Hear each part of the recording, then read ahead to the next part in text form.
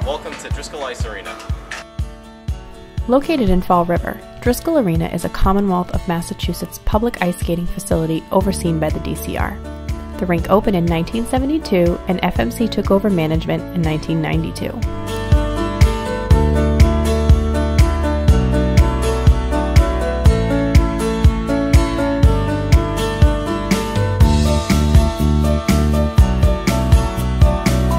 Inside the arena includes six team locker rooms, facilities for birthday parties, a spacious lobby, skate rentals, and a snack bar.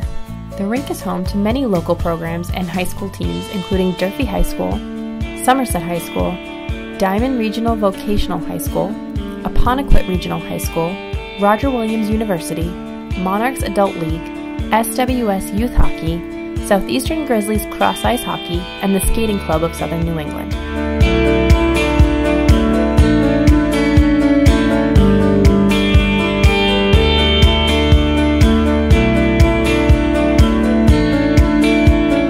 Arena manager Steve Pereira has been with FMC for 10 years. When Steve is not at the rink, he can be found coaching youth baseball and basketball teams and working with adults with disabilities.